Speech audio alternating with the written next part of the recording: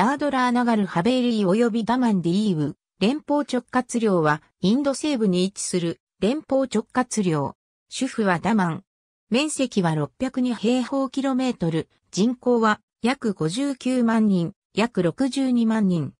2020年1月、ダードラー及びナガルハベーリー連邦直轄領とダマン、ディーユ連邦直轄領が合併し発足した。20世紀中頃までポルトガルの植民地で、ゴアと共に、ポルトガル領インドを構成していた。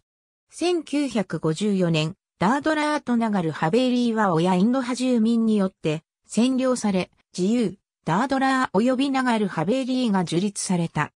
彼らはインドへの編入を要求し、1961年8月11日に、ダードラー及びナガルハベーリー連邦直轄領としてインドに編入された。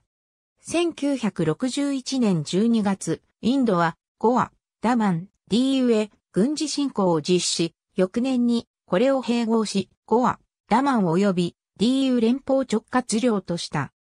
1987年5月30日、ゴアが単独で州へ昇格したことに伴いダマンディーユ連邦直轄領へ改編された。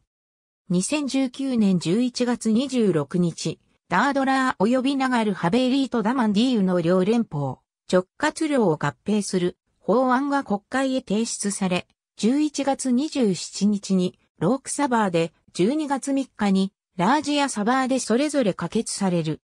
2020年1月26日に合併法が施行され、ダードラーナガルハベーリー及びダマンディーウ、連邦直轄領が成立した。ダードラー、ナガルベリー、ダマン、ディーウの4地域から成り立つ。ただしお互いは接しておらず、飛び地状となっている。ディーウを除く3地域は接近しており、ダマン川沿いにある。またナガルハベリーを除く3地域は、グジャラート州に囲まれている。人口はいずれも2011年の国勢調査に基づく。